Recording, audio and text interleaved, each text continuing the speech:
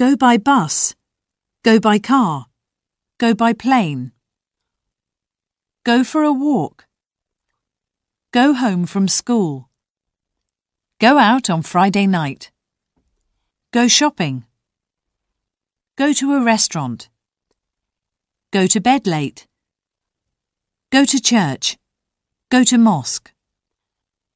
Go to the beach. Go back to work. Go on holiday. Have a car.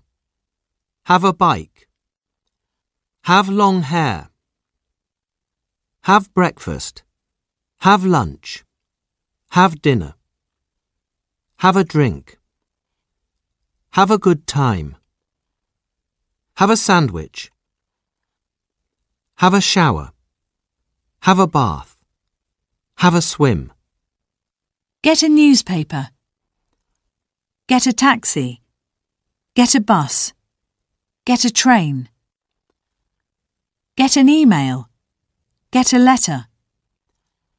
Get dressed. Get home. Get to the airport. Get up early.